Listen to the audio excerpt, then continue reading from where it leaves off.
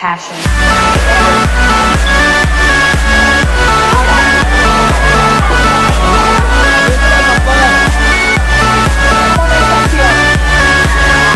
Eh, lo más importante es que podamos eh, generar esa localía que, que muchas veces no tenemos, casi siempre nos toca por fuera, eh, en las pistas de Bucaramanga, de Norte, y pues eh, gracias al Instituto eh, de Recreación, a Inderva, por ser partícipe y apoyar este evento a través de la Liga Santanderiana de Patinaje, y pues ha sido un evento exitoso. Esto le permite a nuestros competidores de Barranca Bermeja de tener un poquito más de garantías porque es la pista que compiten, en que entrenan todos los días, es la pista en la que ellos prácticamente día a día se están desempeñando como deportistas.